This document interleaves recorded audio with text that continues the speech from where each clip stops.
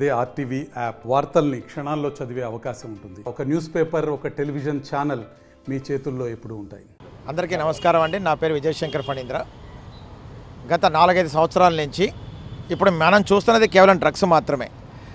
ఏదైతే ఈ యొక్క ప్రభుత్వం అనేది వచ్చిందో అప్పటి నుంచి కూడా ముఖ్యంగా అయినటువంటి ఆయన యొక్క ఆర్థిక వనరులో ముఖ్యమైనటువంటిది ఈ యొక్క గంజాయి. ఆ గంజాయి మద్యపాన నిషేధం అనేది పక్కన పెట్టాక ఈ యొక్క గంజాయి అనేది ఒక మత్తు పదార్థాలని ఆయన ఈ విధంగా సపోర్ట్ చేస్తూ ఈ రోజు వరకు కూడా సరైనటువంటి కేసులు లేకుండా గంజాయి రవాణా అనేది ఆంధ్రప్రదేశ్లో చాలా చక్కగా వివిధ రాష్ట్రాలకి ఆఖరికి దేశాలు కూడా దాటి ఈ యొక్క గంజాయి రవాణా అనేది జరుగుతుంది. నిన్న కాక మొన్న చూసినటువంటి విషయం ఏంటంటే చాలా ఆశ్చర్యకర విషయం. ఈ రోజున విశాఖపట్నం అంటే ఒక ప్రశాంత వాతావరణం.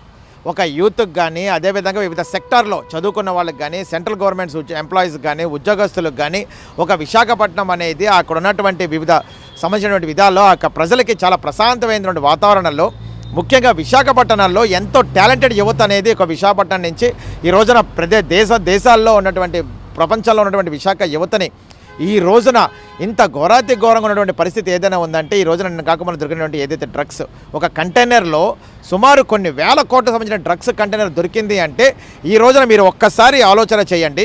రాష్ట్రంలో పోలీసు వ్యవస్థ ఎలా ఉంది? రాష్ట్ర తాలూకా మంత్రులు ఎలా ఉన్నారు ఎమ్మెల్యేలు ఎలా ఉన్నారు వాళ్ళకి ఈ యొక్క యువత మీద ఉన్నటువంటి బాధ్యత ఏ విధంగా ఉంది వాళ్ళ యొక్క యువత మీద ఉన్నటువంటి శ్రద్ధ ఏ విధంగా ఉన్నది మీరు ఒక్కసారి ఆలోచన చేయాలి. ఈ రోజున కంటైనర్ విశాఖపట్నం మీదుగా రవాణా జరుగుతుంది అంటే చాలా బాధాకరమైనటువంటి విషయం.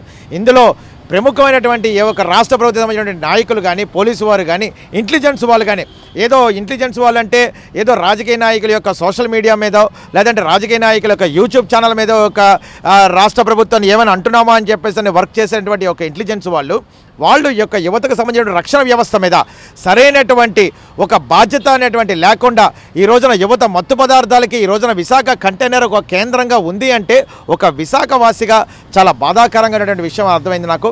ఈ రోజున విశాఖపట్నంలో యువత ఎంతో టాలెంటెడ్గా ఒక స్పోర్ట్స్ రంగంలో కానీ చదువుల్లో కానీ ఈ రోజున ప్రపంచం మొత్తంలో ఒక ఉన్నతమైన స్థానంలో ఒక యువతని ప్రశ్న పెట్టేటువంటి విధంగా ఈ రోజున రక్షణ వ్యవస్థ ఆంధ్ర రాష్ట్ర ప్రభుత్వ పోలీసు వ్యవస్థ మరైనటువంటి ఏవైతే వ్యవస్థలు ఉన్నాయో వాళ్ళు ఇంత ఘోరంగా యువతని దెబ్బతీసే విధంగా ఈ యొక్క రవాణా జరుగుతుందనేది మేము ఆలో చాలా బాధాకరమైన విషయం. ఈరోజు యువతని ఇంత ఘోరంగా ఉద్యోగాలు లేవు ఒక పక్క నుంచి సరైనటువంటి రక్షణ లేదు సరైనటువంటి వ్యవస్థ లేదు అమ్మాయిలకు కానీ మహిళలకు కానీ సరైన రక్షణ లేదు.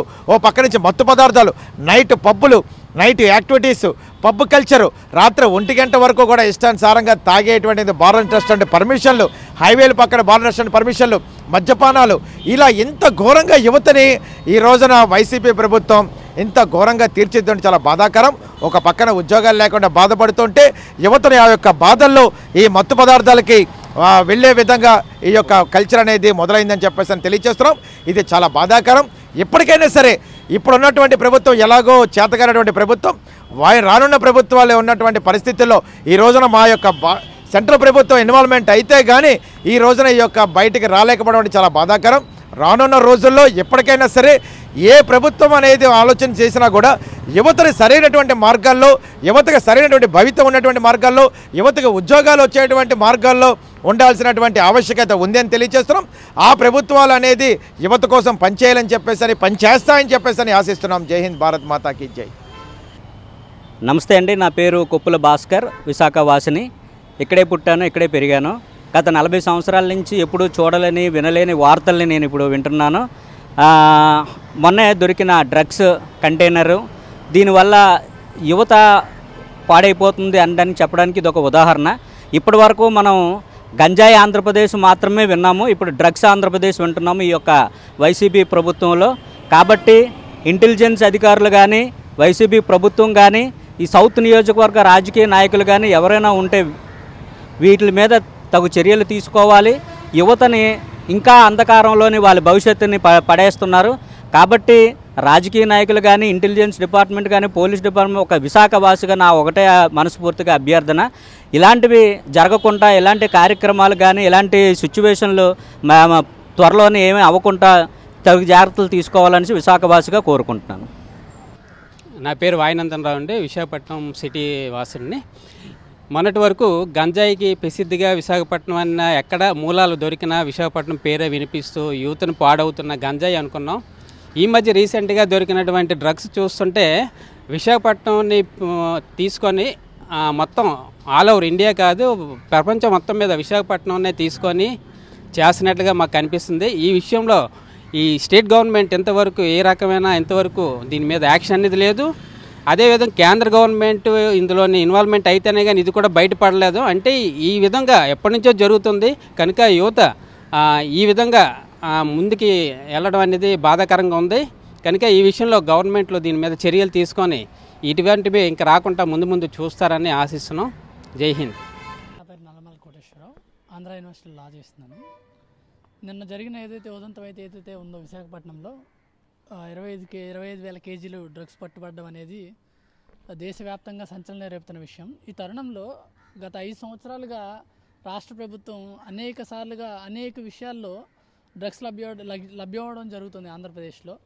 దేశంలో ముంబై ఢిల్లీ కలకత్తా గోవా లాంటి ఎక్కడ ఎటువంటి ఏ ప్రదేశాల్లో డ్రగ్ లభ్యమైనా ఆ డ్రగ్ యొక్క వానవాళ్ళు అనేవి మన ఆంధ్రప్రదేశ్లోనే ఏఎస్ఆర్ డిస్టిక్లో కనబడుతున్న కనబడడం జరుగుతుంది. దాదాపుగా గత మూడు నెలలుగానే దేశవ్యాప్తంగా గోవా బెంగళూరు ముంబై లాంటి సిటీస్కి ఆంధ్రప్రదేశ్ నుంచి ఏఎస్ఆర్ అనే డిస్ట్రిక్ట్ నుంచి గంజాయి వే వేరియస్ డ్రగ్స్ని సరఫరా చేయడం జరుగుతుంది. ఈ డ్రగ్ వాల్యూ దాదాపుగా ఒకప్పుడు కేజీ యాభై యాభై వేలు ఉండే డ్రగ్ వాల్యూ ఇప్పుడు సుమారుగా ఐదు లక్షలకు చేరింది. సో ఇది రాష్ట్ర ఇది ఖచ్చితంగా రాష్ట్ర ప్రభుత్వం యొక్క వైఫల్యానికి వైఫల్యంగానే కనబడుతుంది. సో ఖచ్చితంగా రాష్ట్ర ప్రభుత్వం దీని మీద బలమైన చట్టాలు తీసుకొని బలమైన చట్టాలు అమలు అమలయ్యే దిశగా అడుగులు వేయాలని కోరుకుంటూ దీని మీద భవిష్యత్తులో కూడా ఏబీవీపీ అనేక కార్యక్రమాలు చే చేపట్టడం జరుగుతుంది. PBSD Prasad I'm a science student.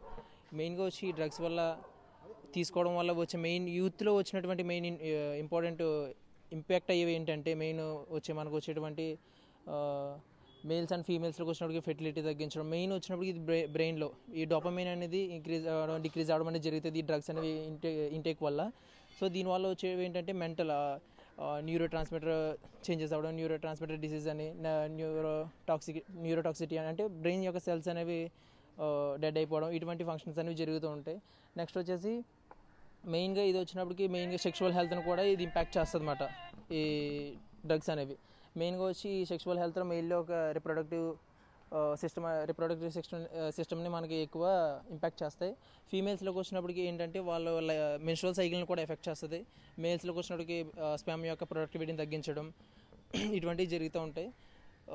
Next వచ్చినట్టు ప్రెగ్నె ప్రెగ్నెన్సీ టైంలో కూడా కాంప్లికేషన్స్ అనేవి ఉంటూ ఉంటాయి. మిస్క్యారీ జరగడం నెక్స్ట్ వచ్చి లోపల ఉన్న ఫీటస్ డెవలప్మెంట్కి కూడా ఇది ఎఫెక్ట్ అవుతుంది అనమాట సో బర్త్ డిఫెక్ట్స్తో చైల్డ్ అనేది బర్త్ డిఫెక్ట్స్తో పుట్టడం ఇటువంటివన్నీ జరుగుతూ ఉంటాయి.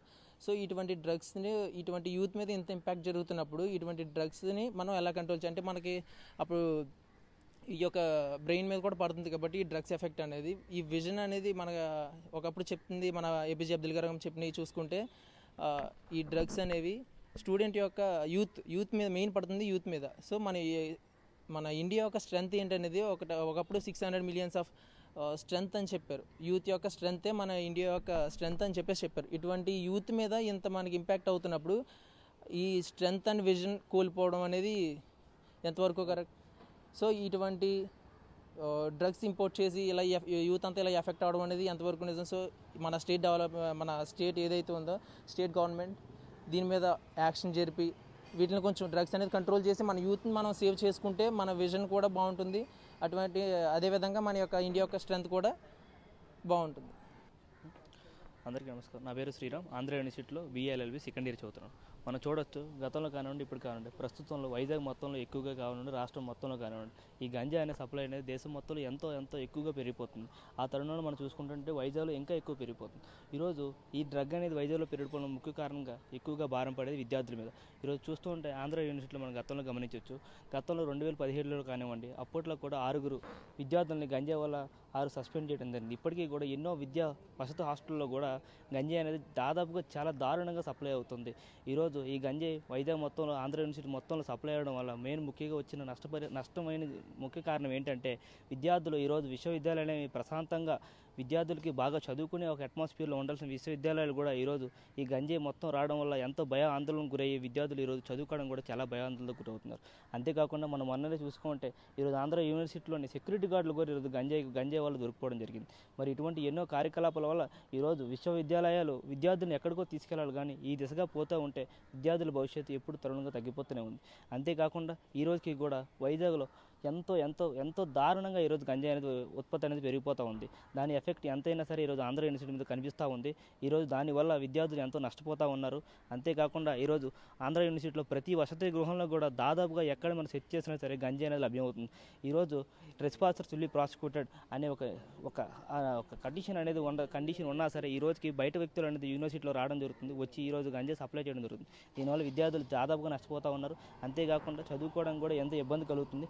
దీన్ని సహకరిస్తూ యాజమాన్యం ఇటువంటి కార్యక్రమాలను పాల్గొనడం ఎంతకంటే చాలా దరిద్రమైన విషయం ఇంకోటి ఉండదు. ఇంతే కాకుండా దీన్ని కంపల్సరీగా అరికట్టాల్సిన బాధ్యత ప్రభుత్వానికి ఉంది మరి వీసీది కూడా ఉంది.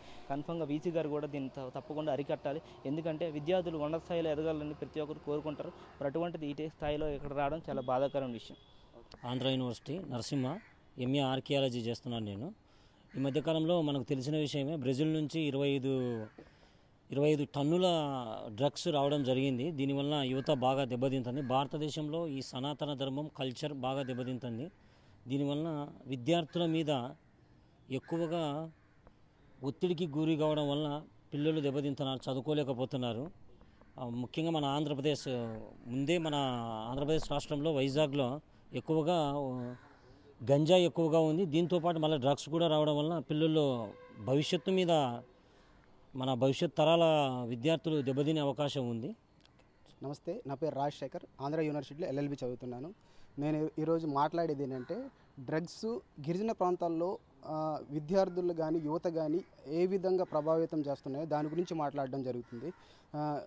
గిరిజన ప్రాంతంలో ఉండే విద్యార్థులు చదువు కోసం సిటీల్లో వచ్చి విశాఖపట్నం కానీ విజయవాడ కానీ హైదరాబాద్ కానీ వచ్చి చదువుకోవడం జరుగుతుంది. ఇక్కడ ఉండే ఖర్చుల నిమిత్తం వాళ్ళ దగ్గర డబ్బులు లేకపోవడంతో ఇక్కడ ఉండే వాతావరణంలో ఉండే ఈ డ్రగ్స్ మాఫీ ఎవరైతే ఉంటారో దాన్ని అనువుగా చూసుకొని వాళ్ళకి డ్రగ్స్ సప్లై చేస్తే నీకు ఇంత ఇస్తానని చెప్పేసి అంత ఇస్తానని చెప్పేసి దాన్ని మభ్యపెట్టి వాళ్ళ వాళ్ళకి మీకు ఒక గంట చేస్తే నీకు ఒక ఐదు వేలు కానీ పదివేలు ఇస్తానని చెప్పేసి వాళ్ళని మభ్యపెట్టడం జరుగుతుంది. ఈ విధంగా దానికి ఈ ఎవరైతే గిరి గిరిజన విద్యార్థులు అయితే ఉన్నారో దానికి ప్రలోభ పడుతున్నారు. ఇంకోటి ఏంటంటే గిరిజనుల గిరిజన ప్రాంతంలో ఉండే యువత ఎవరైతే ఉన్నారో వాళ్ళకి గిరిజన ప్రాంతంలో ఉపాధి అవకాశాలు తక్కువ ఉంటాయి. ఉపాధి అవకాశాల కోసం సిటీలలో వస్తారు. సిటీల్లో వస్తే వాళ్ళకు మహా అయితే ఒక ఐదు వందలు నాలుగు వందలు వస్తాయి. వీళ్ళు డ్రగ్స్ మాఫీ ఏం చేస్తారంటే దాన్ని అనువుగా చూసుకొని నేను నువ్వు ఒక నాకు ఒక ఒక రోజు పని చేసి పెడితే నీకు దే- నేను ఐదు వేలు నుంచి పదివేలు ఇస్తానని చెప్పేసి వాళ్ళని వాళ్ళ ట్రాప్లోకి లాగటం జరుగుతుంది. ఇలా కొన్ని కొన్ని కేసులు ఇరికించడం జరుగుతుంది. ఇంకోటి ఏంటంటే కేసులు పడ్డా పర్లేదు మేము చూసుకుంటామని చెప్పేసి వాళ్ళకి మేము ఖచ్చితంగా అన్ని దానికి అయ్యే ఖర్చులు మేము ఇస్తామని చెప్పేసి భరోసా ఇస్తారు. లాస్ట్కి వాళ్ళు కేసులు ఇరుక్కు ఇరుక్కున్న తర్వాత దాన్ని వాళ్ళు పూర్తిగా వదిలేయడం జరుగుతుంది. ఇంకా ఒకటి ఏంటంటే యువతకి బైక్ అన్నా సరే ఇంకా లేకపోతే మొబైల్ ఫోన్స్ అయినా సరే విపరీతమైన ఇష్టం. దాన్ని అనువుగా చూసుకొని నేను నాకు ఈ పని చేసి పెడితే నీకు ఖచ్చితంగా లక్ష రూపాయలు విలువ చేసే ఒక మొబైల్ ఫోన్ కొనిస్తాను. లేకపోతే ఓ జావా బండో లేకపోతే బుల్లెట్ బండో కొనిస్తానని చెప్పేసి వాళ్ళ ట్రాపులు లాగించి వాళ్ళ పని చేయించుకొని వాళ్ళని ఈ డ్రగ్స్ మాఫియాలోకి దించడం జరుగుతుంది. దీనివల్ల టెంపరీగా అంటే తాత్కాలికంగా ఆనందం కోసం వాళ్ళ నూరేళ్ళ జీవితాన్ని నాశనం చేసుకుంటున్నారని ఈ విధంగా నేను చెప్పుకోగలుచుకున్నాను ఇంకోటి ఏంటంటే ఒరిస్సా నుంచి కానీ తర్వాత ఛత్తీస్గఢ్ నుంచి కానీ వచ్చే గంజాయి అయితే ఏది ఉందో అది మేజర్గా గిరిజన ప్రాంతం నుండే ఇప్పుడు భద్రాచలం ఇప్పుడు ఫర్ సపోజ్ ఒరిస్సా నుంచి ఛత్తీస్గఢ్ నుంచి వచ్చే గంజాయి గిరిజన ప్రాంతం నుంచి పోయి భద్రాచలం నుంచి. భద్రాచలం కేంద్రంగా హైదరాబాద్ కానీ ముంబై కానీ తర్వాత భోపాల్ ఇలా పెద్ద పెద్ద సిటీలకు వెళ్ళడం జరుగుతుంది. ఇది దీనికి ముఖ్య పాత్ర పోషించేదారంటే గిరిజనులే. ఇంకోటి ఏంటంటే కొంతమందికి పెళ్ళిళ్ళు చేసుకోవడానికి కొంతమంది యూత్కి పెళ్ళిళ్ళు చేసుకుని డబ్బులు ఉండవు. ఈ డబ్బులు నేను నీకు ఒక లక్ష రూపాయలు రెండు లక్షలు ఇస్తా నాకు ఈ పని చేసి పెట్టని చెప్పేసి వాళ్ళు డ్రగ్స్ మాఫీ అయితే ఎవరైతే ఉంటారో నాకు ఈ పని చేసి పెడితే నీకు లక్ష రూపాయలు ఇస్తా నీకు పెళ్ళి చేసుకోవడం అని చెప్పేసి వాళ్ళ పనులు చేయించుకుంటున్నారు. చివరికి కేసు ఏదైనా పడ్డదంటే ఆ కేసు నుంచి వీళ్ళు విముక్తి చేయకుండా వదిలేయడం మానే మానేయడం జరుగుతుంది. ఇలా చాలామంది దీని దీని బారిన పడి చాలా జీవితాలు నాశనం అయ్యాయి నేను నేను చేసే మనవి ఏంటంటే గిరిజన ప్రాంతాల్లో ఉండే ఐటీడీఏ పీఓ దీనికి సంబంధించిన అవేర్నెస్ ప్రోగ్రామ్స్ కండక్ట్ చేసి అందరికీ ఈ డ్రగ్స్ వల్ల ఈ గంజాయి వల్ల ఎలాంటి నష్టాలు అయితే కలుగుతున్నాయో వాటి గురించి తెలియపరచాలి. ఇంకొకటి ఏంటంటే రాజకీయ నాయకులు రాజకీయ నాయకులు కూడా దీని మీద ఖచ్చితంగా అవేర్నెస్ కల్పించి దీనికి నిర్మూలన కృషి చేయాలని చెప్పేసి మనవి చేస్తున్నాం. మరిన్ని వీడియోస్ కోసం ఛానల్ సబ్స్క్రైబ్ చేయండి. లేటెస్ట్ అప్డేట్స్ కోసం వాట్సాప్ ఛానల్ని ఫాలో చేయండి. అండ్ లింక్ డిస్క్రిప్షన్లో ఉంది.